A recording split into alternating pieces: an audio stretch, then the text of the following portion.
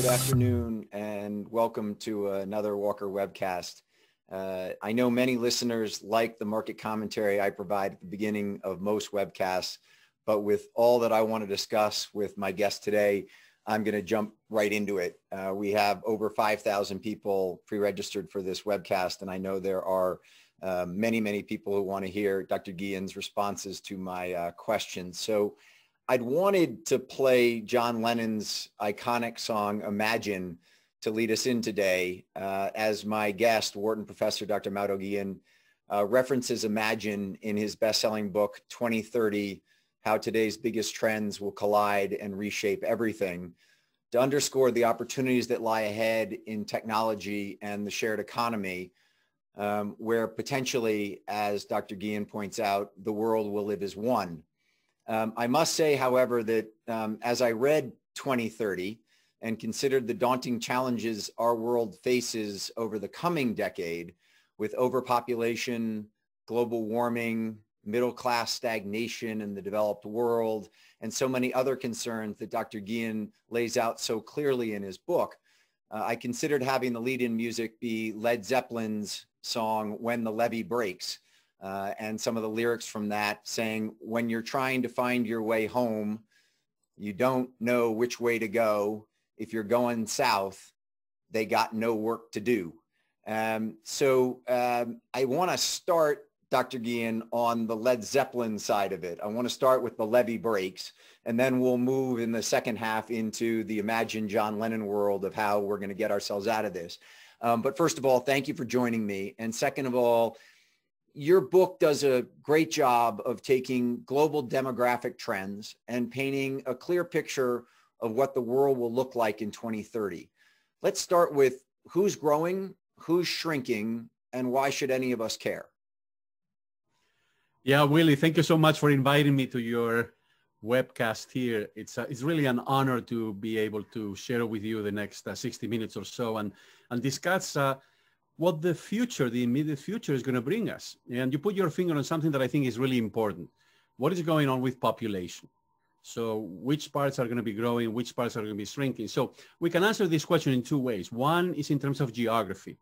And in that case, the answer is very clear. So Africa and South Asia, including India, will be expanding relative to the rest of the world. Why? Because they're having more babies. And remember, those babies, as time goes by, they're also living longer uh, and they're catching up in terms of their life expectancy. And then there are two parts of the world that are definitely shrinking. Uh, one is Europe, and the other one is China, along with Japan, South Korea, uh, and other countries in East Asia.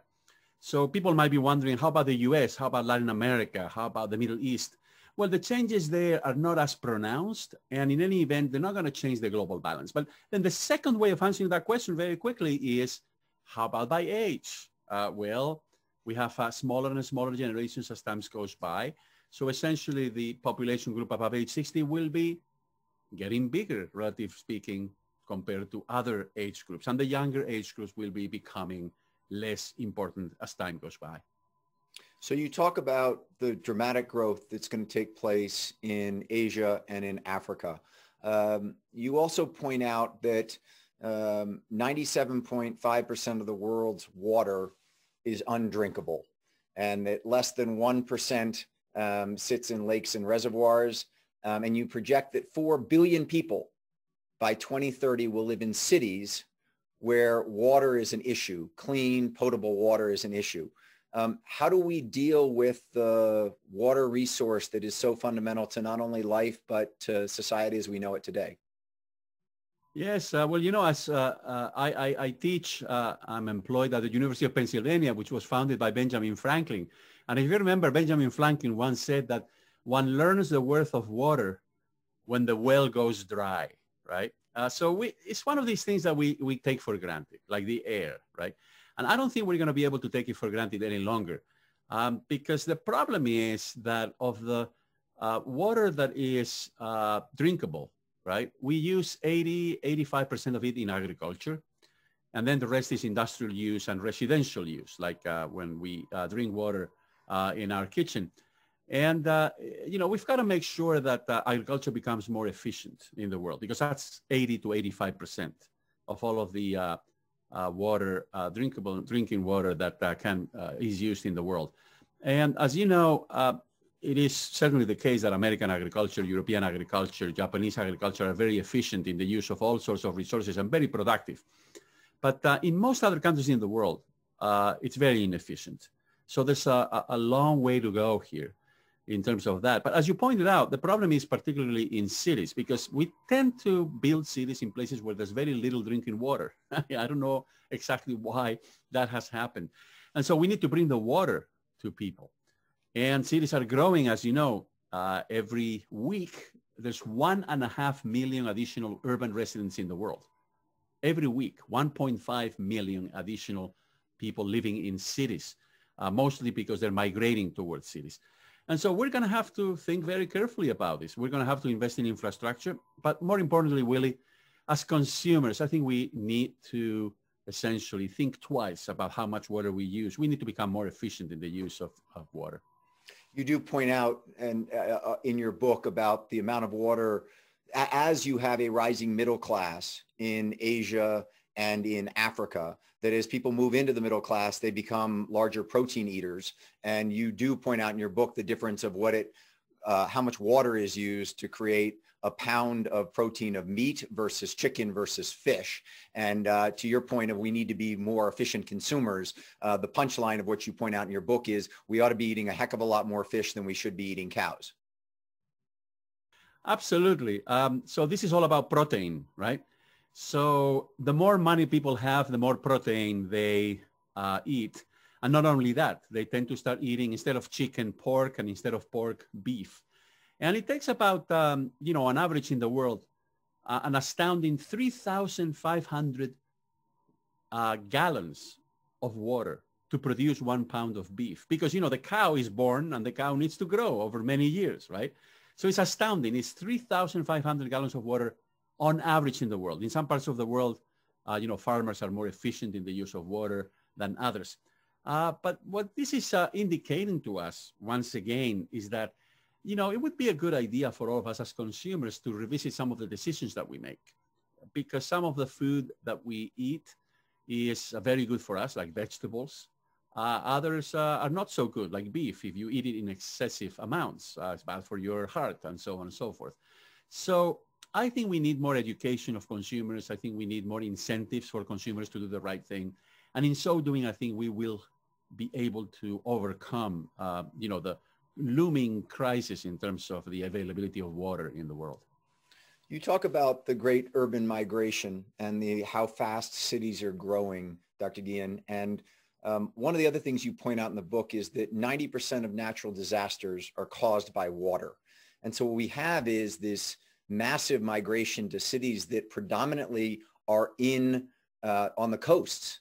And um, so we're basically moving people into urban centers that are some of the most dangerous places for them to be given the impact of hurricanes and typhoons and flooding. Um, talk for a moment about the proliferation of mega cities and the challenges they face just from a security standpoint. Yeah, that's a great question. Look, uh, in the year 1990, and that was uh, just uh, one generation ago, right? 30 years ago. There were only three cities in the world with more than 10 million people. And those were New York, and then Tokyo and Osaka in Japan. Just three, right? But today, we already have more than 20 cities with uh, each of them more than 10 million people, some of them with more than 20 million people. Those are the mega cities. And by the year 2030, we're going to have 35 cities in the world with more than 10 million people. And look, cities are very inefficient. Uh, we waste a lot of energy in cities. And once they reach a certain size, we actually, you know, get into a lot of problems, uh, traffic, pollution, you know, uh, the entire area of the city is, um, you know, covered with uh, asphalt or with uh, concrete and therefore uh, whatever rain falls doesn't get to the, to the right places. So it is a really a disaster, I think, to have so many mega cities in the world. And again, mega cities are in excess of 20 million people. And unfortunately, as I mentioned earlier, they continue to grow. So I have in mind uh, cities like New York and Los Angeles, like Sao Paulo, like Lagos in Nigeria, like Beijing in China, Shanghai. I think it would be better for us, and, and maybe remote work, you know, will help.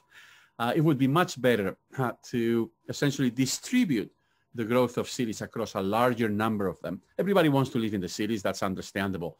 But maybe we can create incentives, we can make it easier for people to gravitate towards cities that are, mm, you know, uh, slightly smaller than these mega cities that we have in the world.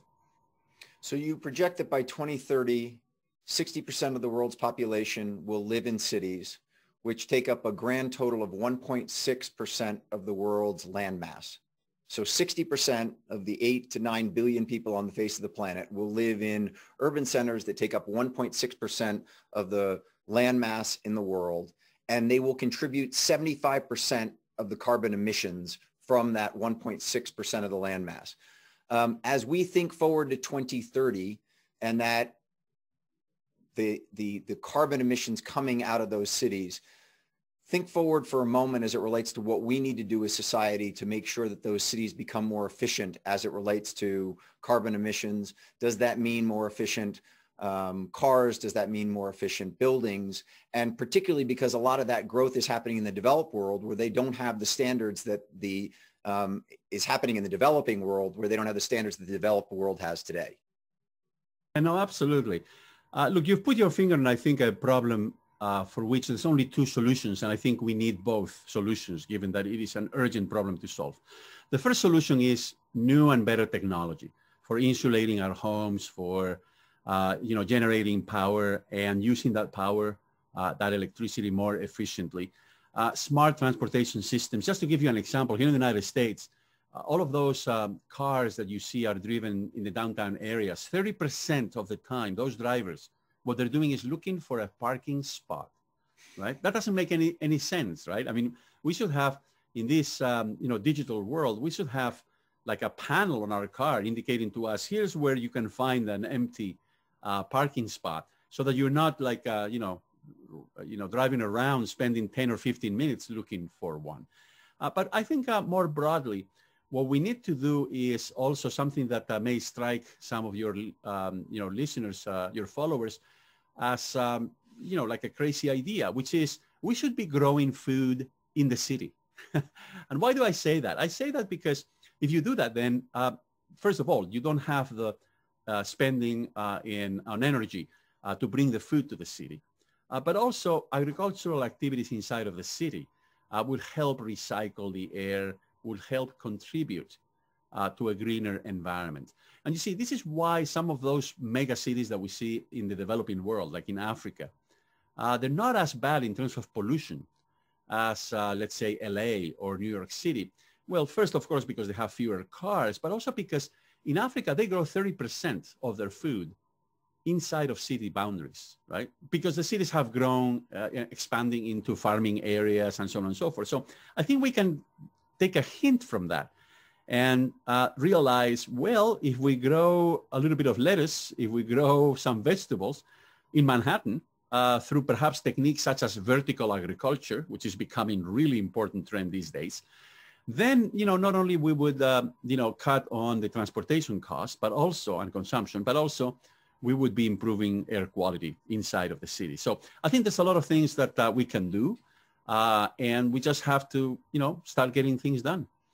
So you talk about vertical agriculture in cities. There was an article uh, that I read a couple weeks ago about using the old subway system in London to grow uh, agriculture underground. Um, and so there's clearly new innovations and cutting edge technology that is driving exactly what you're talking about.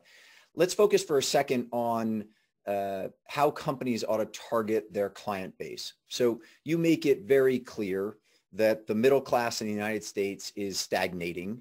Uh, and that while many, many companies in the United States look at millennials as the largest demographic and also newfound purchasing power in millennials, and therefore let's focus on millennials, but you essentially say you're focused in the wrong place. Um, talk a little bit about where the money sits in the United States, and then I want to move to the developing world and the emerging middle class and what companies need to be focused there. But let's stay on the developed world in the U.S. specifically as it relates to middle class stagnation, if you will, as far as incomes, and a and a misdirected focus on millennials by by your analysis. Yes. So what's going on, Willy, is something very simple. Every generation that is born these days is numerically smaller than the preceding generation. That's because the birth rate or the fertility rate is falling, right? So as years uh, go by, uh, you know, the average number of babies per woman uh, is falling. And this has been going on in the United States, if you remember, since the baby boom of the 1950s and early 60s, right? So at the same time, also we're living longer and longer. So life expectancy is growing. So what this means essentially is that millennials is numerically actually the smallest generation we've ever had here in this country. And at the same time, what we're having is all of those baby boomers going into their 60s, into their 70s, into their 80s, and uh, with very prolonged life expectancies. So that segment of the market above the age of 60 is very quickly becoming the largest segment, not only in terms of the number of people, but also purchasing power. My forecast is that by the year 2030, the population group in the United States above the age of 60 will represent the largest consumer segment. And for the longest time, it has been ignored by companies. Brands never really thought about that segment. They were focusing on people in their 20s, in their 30s, maybe in their early 40s, because remember, that used to be the largest generation with the biggest purchasing power, but not any longer. And let me just give you another piece of information that I think is very telling. Here in the United States, 80% of the net worth is owned by people above the age of 60. 80%. Now, the US is an outlier. In most other countries in the world, is between 60 and 70%. So I'm not claiming here that everybody above the age of 60 is rich. Of course not, because wealth as well as income are unevenly distributed. There's a lot of inequality. But that segment above age 60 has not only the numbers, but it also has the purchasing power now. And remember, today as we speak, there's 12,000 Americans who are celebrating their 60th birthday every day, right? So that segment is growing. And you know what? On average, those people who are turning 60 years old today, they're expected to live on average another 24 years. That's another lifetime, right? As consumers, potentially as workers, and also another lifetime to enjoy things, right? So 24 years on average beyond age 60, that's a, a very, really long period of time. So let's shift to the developing world and uh, you talked at the beginning about the demographic trends in Asia and in Africa. And when I read your statistic of 1.6% of the world's landmass is going to house 60% of the world's population by 2030. And I, as someone who's in the apartment financing business, said, that's a lot of apartments. Um, what, you know, as I also read your book, I sat there and said, if I were in consumer products, I'd really be focusing on how I sell consumer products to that African and Asian growing middle class and potentially not the US middle class. Talk for a moment about the companies that you have advised as it relates to how do you have to think about those emerging populations? Because as you also point out in your book, the Marlboro brand and the Coke brand, as strong as they are globally, are being displaced in many markets by local brands. Absolutely. Um, so we have a situation, as you said, in which the old middle classes of Europe and the United States, they're no longer growing. And in fact, they've been stagnant. And this is, of course, the result of the fact that we're having more frequent recessions. And in general, we have uh, rising inequality. So there's more income and wealth concentrated at the top. So the middle class is not expanding. At the same time, take a look at what's going on, not just in China, uh, also Thailand, Malaysia, Vietnam, India, I mean, you name the country, right? And what's going on is that every year that passes in those emerging markets, you have an additional 80 million people becoming middle class. So they are living poverty and they're becoming middle class. And of course, middle class people, as you know, they like to buy branded products. They like to go on vacation. They like to buy a house. So they need a mortgage and have a car. So they need a car loan. Uh, so everything about consumer um, you know, companies, uh, consumer goods, and also financial services essentially takes off when the middle class grows. Now, not only that, the average income of that middle class is also growing, right? So that middle class is getting richer. We still have the richest middle class in the world, don't get me wrong. But as a market combined, by the year 2030, the Chinese middle class will have more spending power than the American middle class for the first time.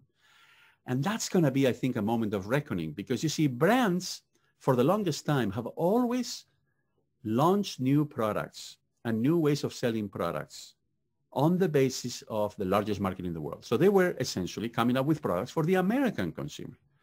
But now that the Chinese middle class consumer market is going to become the biggest in the world in about nine years from now, then I think more and more brands will start playing to the tastes and the preferences of the Chinese consumer. And as I said earlier, it's not just China. The problem is that you also have India, which also has a growing middle class. And you have Indonesia, and you have Thailand and Malaysia. And that's just in Asia. Then we could also talk about Sub-Saharan Africa, where the middle class is also growing. So, so things are changing very fast. That's the bottom line. And one of them is the growth of the middle class in emerging markets.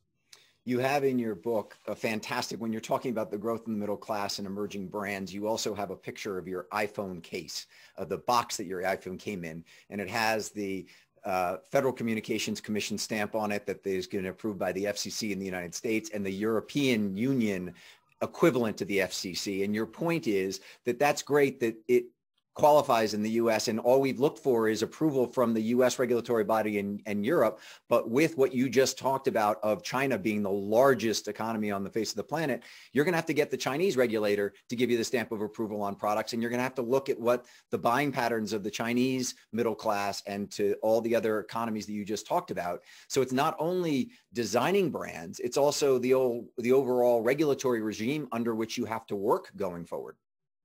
Oh, absolutely. So here you're referring to technical standards.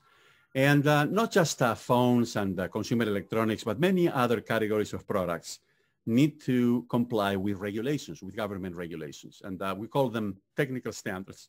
And so, you know, typically what companies would do is get approved by the largest market regulators. So for the longest time, that was the United States. Then if you remember, 20 years ago, Europe came together. Instead of um, being a collection of national markets, they created a single market. So then the European Union also became an important regulator because it was a market about the same size as the US when you combined all of those markets. It still is today. So in other words, uh, now we have, as you mentioned in the case of my iPhone, two main regulators in the world, European Union, United States. But within a few years, China will be as a market even bigger than either the US or um, uh, Europe. And therefore, my prediction is that companies will seek approval from the Chinese regulators for their global operations. And uh, shortly thereafter, I think also India is going to play a similar role, given that their market is also going to be really, really big. So yes, the, the, the golden rule here is that the largest markets in the world get to decide what are the rules of the game in international competition. That's the key principle here. So if we focus on, you're talking about the emerging middle class in China, and you just said as the middle class grows, people are going to start to buy more discretionary goods. They're buying purses, as you point out in your book. Uh, but it's also stranding the older Chinese population in rural areas with no support. And you go from there to Japan, where clearly the aging population uh, is requiring more and more help. And in Japan, they've introduced robotics in a very significant way to take care of their aging population. You state that 90% of senior care is provided by immigrants, both in the United States and throughout the developing world. 90% of care is provided by immigrants. Yet in the developing world, in Europe and in the United States, we have a big anti-immigration push. We've watched it for the last four years. How are we going to take care of our seniors? Yeah, that's um, that's exactly right. Um, you know, we are so inconsistent in terms of the decisions that we make. So precisely at a time when population is aging very quickly in Europe, in the United States, you know, we're going to have 35% of the population above the age of 60. And uh, some of them will require, um, you know, 24-hour kind of assistance in their home, right? And as you said, um, right now in the United States, um, in many parts of Europe as well, 80 up to 90 percent of those people who take care of the elderly in their homes are immigrants, but we have a backlash against immigration. So look, uh, the only solution is technology. The only solution is automation. And that's why in the book I refer to all of those new, you know, really tantalizing experiments in Japan, in Europe, here in the United States, with using robotics to assist the elderly. So I don't have in mind here robots that do everything for you like a human being would, but robots that help you with specific tasks in the household, right? uh, that maybe uh, a 70 or an 80 or a 90 year old can no longer perform. That's the way we're going. Uh, technology, automation, because once again, not only we're having fewer babies, but uh, also there is this, uh, you know, trend towards increasing limits towards um, uh, immigration, and therefore something's got to give. and I think the only possible solution will be in the end technology.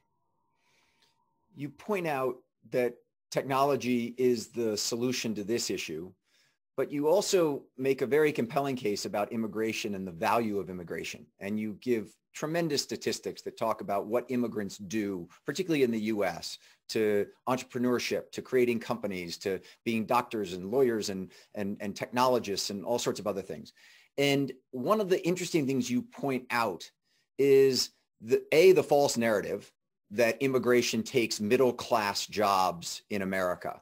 But the point that I want to ask you to comment on is you, you made a statement about how paradoxical it is that recent immigrants in Europe and the United States are supporting candidates for political positions that demonize immigration. Talk about that for a second.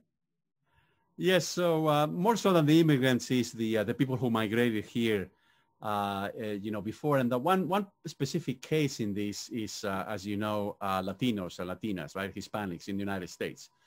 And that you've got to understand something that um, this subgroup tends to be, uh, you know, very strong in terms of entrepreneurship and small businesses. And uh, of course, small businesses and entrepreneurs here in the United States, they tend to lean more Republican than average, right? because they like the low taxes, they like the some of the measures, right? That uh, typically Republican political candidates tend to, to advance. Now, at the same time, uh, yes, it's true. Uh, those same Republican politicians uh, tend to be more against uh, immigration, right? I think for all of the wrong reasons. So there is this paradox, right, that some minority groups, and specifically here in the United States, is Hispanics who have uh, already migrated into the country. Sometimes they vote for political candidates who happen to be against immigration, but I think they do so out of other considerations. But the one thing that I think is really important, Willy, to emphasize is, uh, you know, the premise to your question, which is completely true. You see, most immigrants um, arrive here in the United States when they are in their 20s, in their 30s, in their 40s. So they are working immigrants, right? They will contribute to Social Security. They will contribute to the economy. Uh, but not only that, they are disproportionately entrepreneurs, right? Because immigration itself is an act of entrepreneurship. I mean, you have to take the initiative to leave your home country and uh, travel for miles, right? For uh, thousands of miles. And so um, we see this uh, entrepreneurship um, uh, at the uh, at the uh, in, in, the form of you know restaurants, of course, and dry cleaners and all the rest, but also in terms of high tech entrepreneurship. And so you name uh, the big tech company in the United States, uh, whichever you want, and uh, there's a 50% chance it will have been founded or co-founded by an immigrant. So for example, Google or Tesla, right? Um, so the, the, the, the impact, the positive impact of immigration is just uh, enormous. And as you said, immigrants, um, most of them either have no skills, so they work our fields or they work in the service sector in janitorial jobs, or they have very high levels of skills, right? Uh, and, and on both ends, uh, there's not enough Americans to take the jobs that the economy is creating. It is in the middle, right, uh, where most middle class jobs are in terms of skills. But most immigrants don't have those intermediate skills. They either come with very low levels of skills or with very high levels of skills. And so, as you said, um, it's a myth that there is that much competition between the local American middle class and immigrants for jobs. Let me add one other data point to your point about myths, and then I want to move on to women. And that is that you point out in the book that uh, the 8 million undocumented immigrants in the United States in 2016 contributed $13 billion in payroll taxes, and almost all could not claim any Social Security benefits. So I think that there is this great thought myth that illegal immigrants are net detractors from the system. That obviously doesn't take into account services such as emergency room visits and things of that nature. But just from a taxes standpoint, 13 billion to the positive net and nothing taking out of the Social Security Trust Fund. Um, let's move to women for a minute, Mauro. Uh, your book makes a very compelling case that women not only are working harder, they're getting better jobs, and they also are controlling the majority of financial decisions. And so as I read your book and thought about the emerging middle class in developing markets, and that's where lots of global companies ought to be focused. I also thought about women and said, forget about millennials, forget about any other demographic other than 60 plus year old women. Absolutely. And uh, look, uh, uh, this topic um, is, um, you know, really dear to me. I have two daughters. Okay. So I'm very happy about these trends. Look, there is still discrimination by gender. There's no question about it. Having said that, the progress economically that women in the United States and in many other countries around the world have made over the last 20 or 30 years is enormous.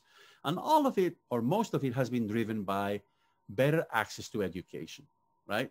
Uh, so better access to education opens up opportunities for women that didn't exist before.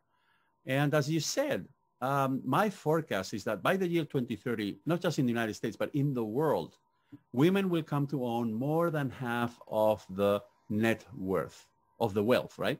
And look, in terms of income, right now, as we speak today, the U.S. Census Bureau reports that in 41 of American households where there's a man and a woman married to each other, the wife makes more money than the husband in 41% of households. And the projection of the US government is that by the year 2030, in more than half of American households, the wife will make more money than the husband. Now, let me put this in very simple terms, Willy. When you and I were born and we were growing up, that was not the situation. okay? In 99% of American households, the husband would make more money than the wife for a very simple reason that most of the wives were not working outside of the households, right? So what I'm trying to say here is that we're in a completely different world. And as you said, women increasingly with money in their pockets are becoming also a very rapidly growing consumer segment. So it's not just, uh, you know, China or India. It's just women anywhere in the world. That segment is growing because they have more opportunities available to them. So they're making more money and they're accumulating wealth.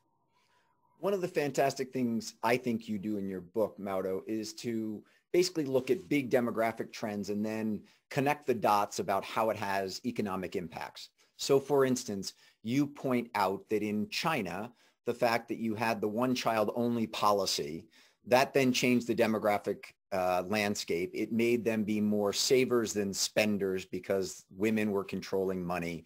And therefore the savings rate in China exploded and therefore they bought US treasuries and that drove down mortgage rates in the United States. That's a, that's a long chain of all these different things that came from a big one child only policy that was implemented by the government, but ends up in allowing Americans to borrow for their home at exceedingly low interest rates.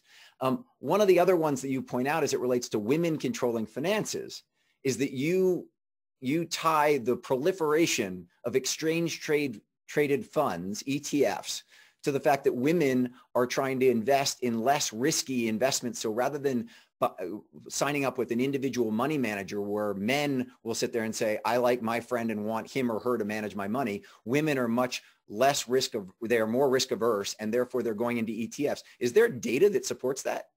Oh, absolutely. Uh, we have data from experiments. So you put men and women in a room and you give them, uh, you know, some phony money and you ask them to invest it. But more importantly, just take a look at pension funds, right? So 60% of Americans have a pension fund, both men and women. Take a look at how they allocate those pension funds to asset classes.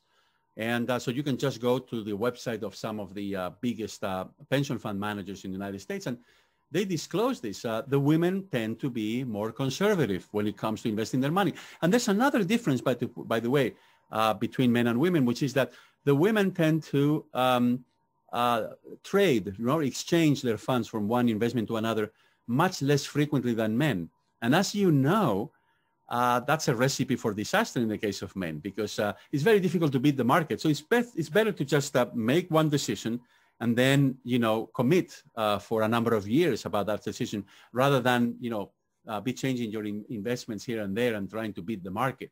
Now, having said that, Willy, I also want to mention something really important very quickly, which is that what we're also seeing over time is that men and women are converging, right? In terms of their investing behavior. So there's, they're still different with women being more risk averse and women trading less frequently than men with their own money, right? With their savings.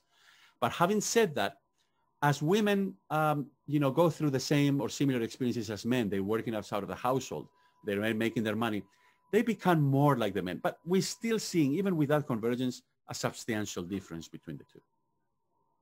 It's, it, it's fascinating and um, it makes me think that all, everyone who's been playing around in GameStop for the last week is all men. Uh, and, I, and I would make an assumption that everyone at Citadel who made a lot of money on that trade is a whole bunch of men. Um, anyway. Yeah, look, I, uh, I quote uh, Oscar Wilde in the book, if you remember, the Irish playwright, which is one of my favorite. And in one of his plays, uh, one of the characters says, um, um, uh, men risk, uh, I'm sorry, uh, men try their uh, so so in other words that men and women are different huh? uh, women try their luck men risk theirs that's the yeah. quote right exactly. and i think it captures really well this attitude about not just money but by the way also about the future right because at the end of the day your decisions about how to invest your savings have a lot to do with your mentality with the way in which you think about the future so final kind of stat thought about the global challenges we face and sort of moving out of Led Zeppelin into John Lennon, if you will. Uh, my final one is you, you have two charts in your book that fascinated me. One is the increased incident of um, obesity, both in the United States, broadly, more broadly speaking in the developed world, but throughout the world.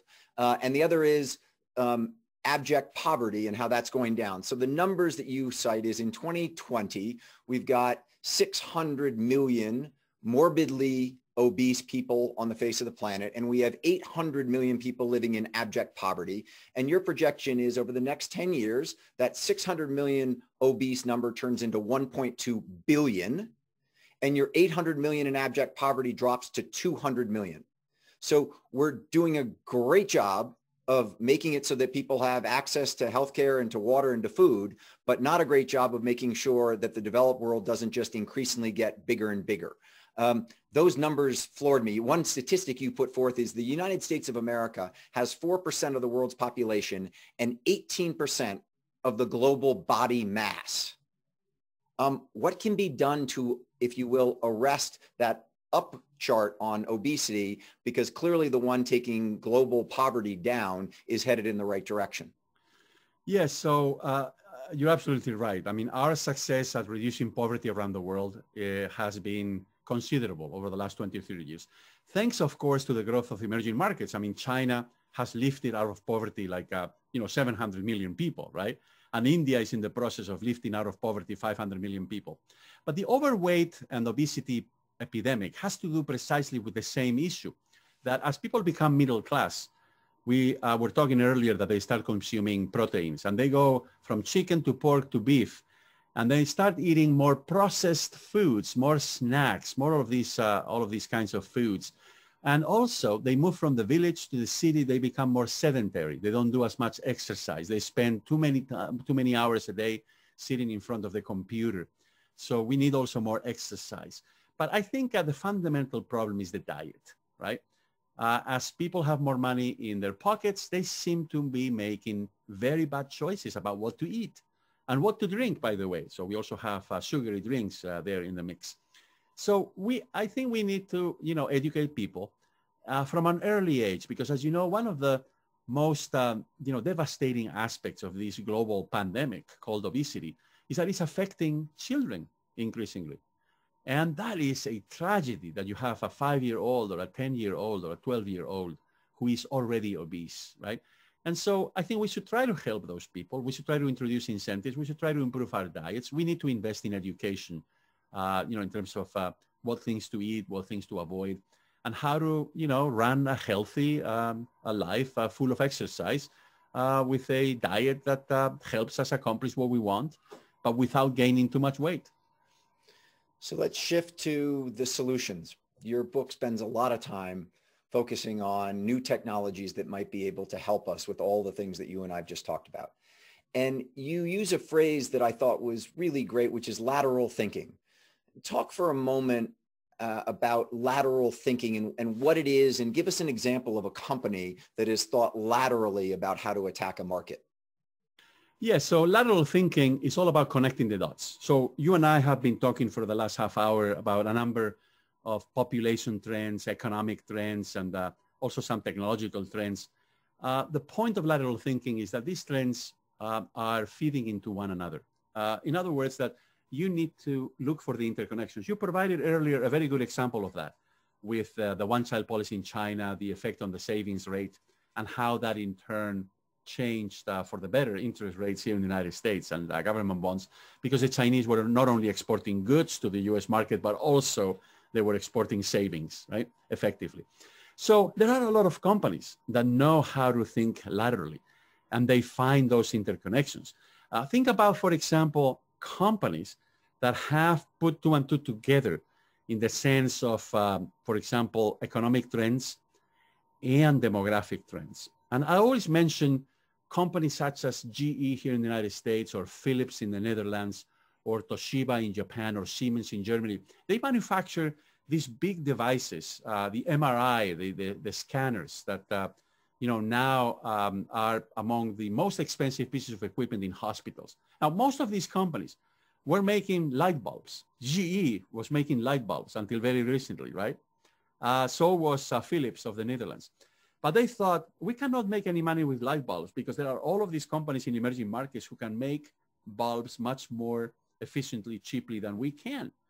So they thought, what can we do that would be helpful in the future? And they thought, well, we're very good at R&D. So MRI machines are very technology intensive.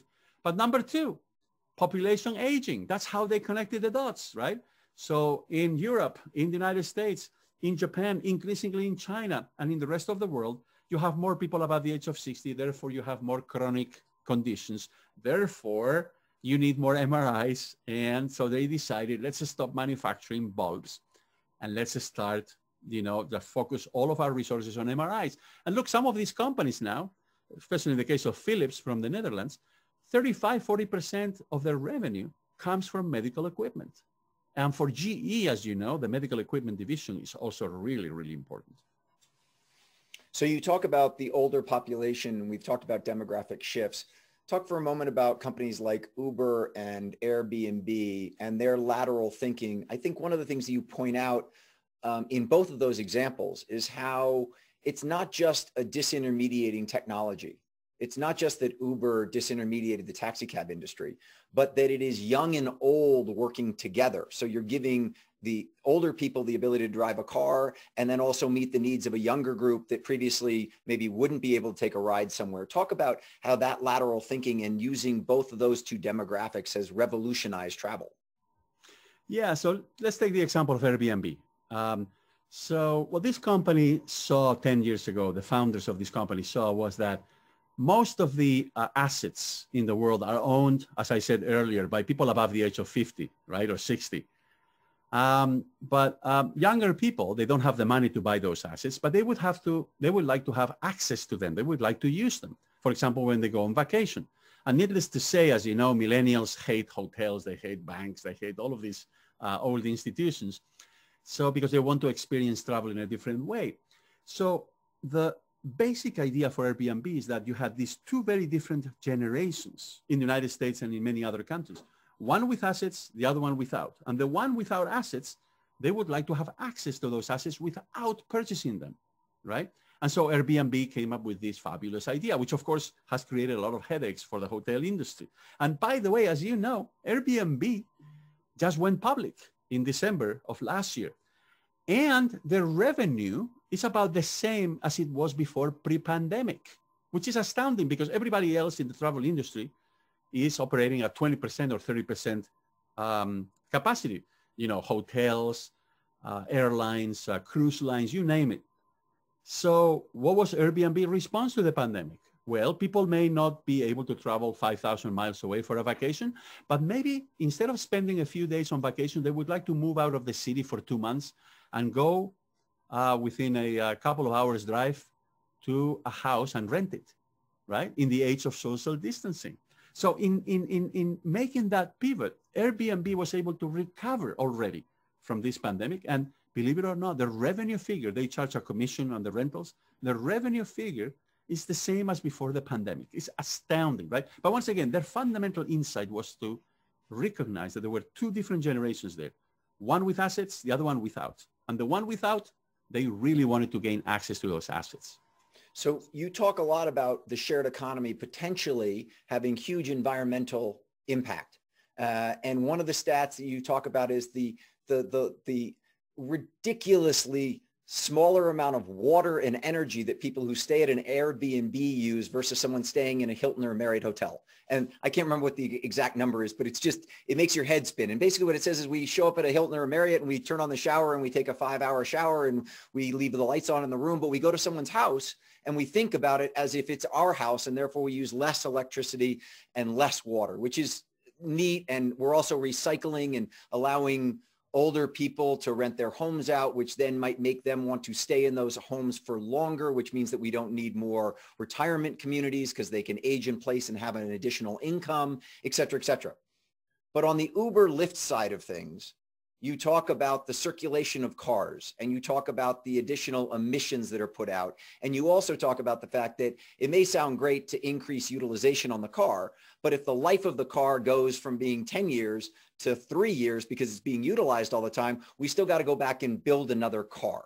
Um, is that a is that a fair analysis that Airbnb is great for the environment and Uber and Lyft aren't great for the environment? And take that yeah. out another step to other companies. Yeah, that's a great question. So let's focus for a moment on ride hailing, right? Because I think uh, it's a mixed bag. So on the one hand, right, uh, if instead of driving your own car, you're just getting an Uber or a Lyft or a Didi in China, uh, then uh, it's it's um, more likely that that asset, the car, will be used more efficiently. Because you see, in the United States, when people are driving uh, their car downtown, 30% of the time they're looking for a parking spot. Now, if you're getting an Uber or a Lyft or a Didi, uh, then you know you don't have that waste. Now, the problem is that the greater availability of rides through platforms such as these that we've been discussing has reduced the appeal of public transportation. That is the problem, right? And it has also increased uh, traffic uh, congestion. Well, that and also the delivery trucks, because as you know, online shopping has gone through the roof, right?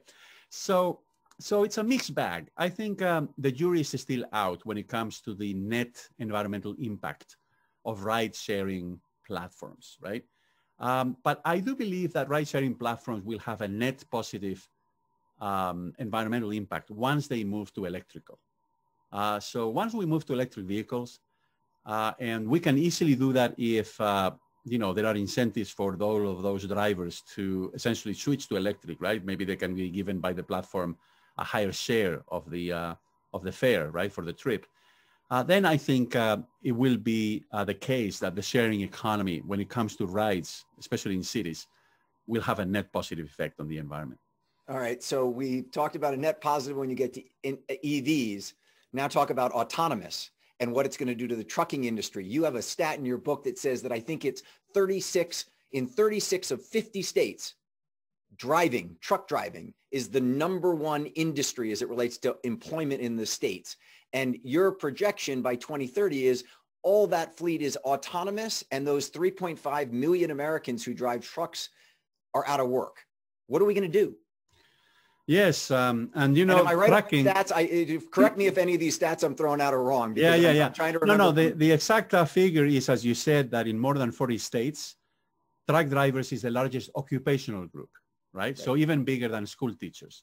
I mean, there's a lot of truck drivers in the United States because we move a lot of merchandise using trucks. And, um, you know, here's the problem. The problem is that it's so much easier to automate uh, trucking than it is to automate, um, you know, your car, right? Because tracking, uh, you know, a lot of it, as you know, long distance happens overnight uh, on the highways and all of that. And you can organize convoys of trucks and uh, with uh, without drivers, or maybe with just one driver, but that person driving 20 trucks, right? So yes, I mean, I think this is going to be really tough uh, for truck drivers because uh, there's not going to be as many jobs in the future. And by the way, the country in the world that is most advanced in terms of the uh, driverless trucking is China, right? They're making a lot of progress uh, in that uh, direction. Um, so uh, yeah, look, I mean, there's no question that technology will destroy jobs at the same time that it delivers uh, you know, so many improvements to our quality of life. So the important point here really not just for truck drivers, but for any other types of workers that are displaced by technologies that we shouldn't forget about them. I think we have been forgetting about them over the last 20 years. And we should come up with uh, ways to help them find another job, right? Because technology will continue to be implemented and automation is a very powerful force. However, I think as a society, we should be taking care of those people who are displaced by these technological revolutions. So you talk about these technological revolutions and you and you talk in the book about Uber and the fact that Uber and Travis Kalanick just basically ran over local regulation to get Uber out there and basically said, you know, build it first and ask for permission later is essentially what you say. And you talk about Uber in London and the fact that there was this big sit-in by all the taxi cab drivers in 2015. And then in 2017, the legislature passed where they're going to ban Uber and 850,000 people signed a petition to make it so that Uber could exist. And my mind went to, well, that makes sense in the world we live in today that all these people to your to, to, to, kind of the populism that exists that if the technology is there and it gives me freedom to use it and it's a low price get out of the way government and I'm going to go down that path. Yet we talk about truck drivers who are going to be displaced. Um, we talk about the fact that while people might put a lot of um, faith in Travis Kalanick and the and, and, the management team at Uber, we might remind ourselves that Travis Kalanick lost his job because he couldn't run his own company. Um, and I'm not trying to throw spears at him, but my point being is that there is a regulatory framework that we've all relied upon, particularly in the United States. And the technology market. Look at Facebook today. Look at Google today as it relates to being able to not abide by the publishing rules that have been the New York Times and everybody else has to live under. They are writing their own rules and yet there seems to be this big tension today between let the free economy and let these new apps do whatever they want, but then all of a sudden at the same time, we want the protections that have existed in the past. How does this kind of clash between capitalism and populism work itself through in the next 10 years so that we don't have additional strife and additional sort of conflict in our political system that we saw so clearly in 2016? Yeah, so Willy, I think uh, either extreme is unacceptable. So the extreme where there's no regulation for these technological platforms, uh, or the other extreme where you regulated them so much that you kill them. So you need to have to find a balance. And of course, in terms of uh, striking a balance between the two extremes, no regulation and full regulation, you know, I think the most important principle is, is this going to help consumers? Is this going to result in, uh, you know, lower prices, but also better, for example, environmental impact, right? So not so much of an impact uh, on the environment. So I think we probably need to come up with a uh, priorities here as to what is it that these regulations should look for. Uh, what is it that um, you know these companies that are becoming so successful that we call them big tech for a reason? What is it that they should do in terms of paying their dues back to society? Because they're making a killing, right? I mean, they're growing like crazy. Many of them are making big profits, but maybe we need to rein them in in the sense of uh, directing them in the direction of helping society cope with all of these problems, right? And, and by the way, if uh, they eliminate jobs, if they um, uh, make uh, workers redundant in other industries, maybe we should also ask them to contribute to helping relocate those workers, retrain them, and so on. So I got to get you to talk about blockchain and crypto for a second, because as I hear you talk about governments, the one thing that the dominant government in the world has always had, and you walk you you walk your readers through this, and it's fascinating that every dominant empire over history has had the fiat currency, and they've been able to control the world because they've controlled the currency. And now all of a sudden we have crypto coming in and we have blockchain. And uh, first of all, on crypto, you talk about crypto being, you know, seamless and, and people can go and invest in it and we can use it as a currency. At the same time, I have a really hard time thinking that the United States government just lets go of having the fiat currency. And the second thing is you talk a little bit about the environmental impact of it. And I think the stat you used was the amount of energy required in the world today to run all the servers on Bitcoin is the amount of energy used to power the country of Austria for a year with 8 million people inside of it. So there's nothing, there's like, I was thinking about all the big Bitcoin owners like John Tudor, uh, Paul Tudor Jones and all these other big hedge fund people. And I was thinking they need to not only buy carbon offsets for their jets, they need to buy carbon offsets for their positions in, in, in Bitcoin. Um, but then blockchain makes all the sense in the world like the title insurance industry should go away because we shouldn't have questions about title. You shouldn't have to have insurance on the title because the title ought to be in a blockchain. Talk for a minute about crypto and blockchain and what we're going to see 10 years from now. Yeah, so the blockchain is a very powerful technology. It has this um, big, uh, you know, uh, minus, which is, as you know, that is very energy intensive. And you provided a vivid example of Austria comparing it to a Bitcoin trading.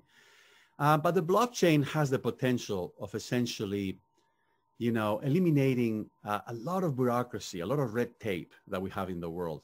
And by the way, also eliminating quite a few jobs, right? Uh, people who, you know, manage uh, all of those parts of the economy. And the blockchain, of course, is the technology that underlines Bitcoin, but it has applications um, in so many other areas.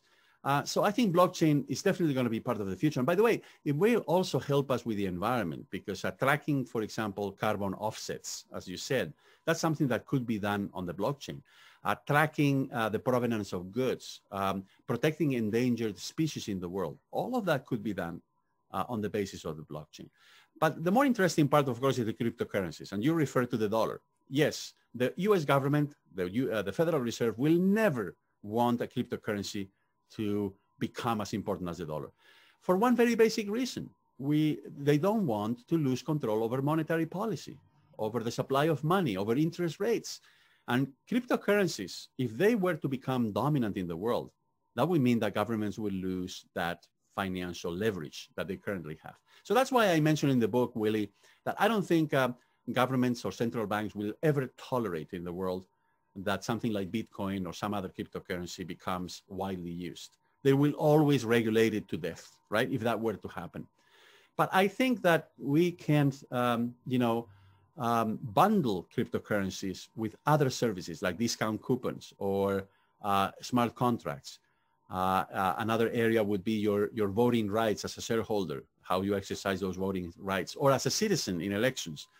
And if you put all of these things together in something that um, is normally called a digital token, uh, so cryptocurrency would be only one component in that digital token, then I think that would be an innovation. I think that would be more efficient. I think that would make a contribution to the economy and to well-being. And I think governments and central banks would tolerate that. And um, by the way, we already see this in action in places like Estonia, uh, the country in Northern Europe. It's a tiny country, but you know they have made a lot of progress in terms of uh, people over there using these digital tokens. And also in Africa, where they don't have a banking system and they don't have, uh, you know, our usual um, means of payment, uh, places like Kenya and Ghana. So uh, this is already becoming a reality in some parts of the world. And I think we will come here to the United States uh, as well. So my final question, I could keep going on with you for three more hours with all the things that I pulled out of your book, but uh, you obviously started working on this book long before the pandemic set in. And as you were doing your research about these daunting global challenges of overpopulation and of moving to cities that are susceptible to flooding and to typhoons and hurricanes and all that, it's a pretty it's a pretty daunting challenge to be able to confront all this and find solutions. And at the same time, you very accurately point to a lot of technologies that could change the world over the next 10 years and might make it so that we don't sort of self-destruct. And then all of a sudden in comes the pandemic. And in sort of record time, scientists and technologists, and interestingly, technologists, not just scientists, technologists got a solution to this much, much quicker than we thought. Is your view after having pulled your book together more optimistic or pessimistic after having seen how we've dealt with the COVID pandemic? Yeah, look, I'm a realistic optimist. I think there are opportunities embedded in all of this. But here's the point. I have been spending some time studying previous pandemics, such as the plague of Justinian or the Black Death, or the 1918-1919 influenza in Europe and the United States. And there's a big difference between those pandemics in the past and COVID-19. COVID-19 is a big accelerator of pre-existing trends. The other pandemics, they brought history to a stop. They rerouted history in a different direction. COVID-19 is accelerating population aging, it's accelerating the use of technology, it's accelerating uh, the rise of the emerging markets of East Asia because they're performing better than we are. It's accelerating all of these pre-existing trends. So look, my only regret, Willy, uh, in terms of the arguments and the evidence in the book, is that instead of 2030 as the title, I should have chosen 2028 because this acceleration is bringing the future faster to us. So in other words, we need to prepare. And now there should be, in the midst of this pandemic, even more urgency to prepare for that future. Well, Dr. Guillén, uh, mil gracias por juntarte conmigo hoy. Uh, it's really been a great pleasure. Thank you so much for all of your thoughts, all your input. Uh, to everybody on the on the webcast, thank you for joining us today. We're back next week with uh, the chairman of McKinsey and the CEO of the Great Place to Work Institute, talking about what makes great companies great. Uh, thanks for joining us today, and Dr. Guillén, again, thank you very much. Great to see you.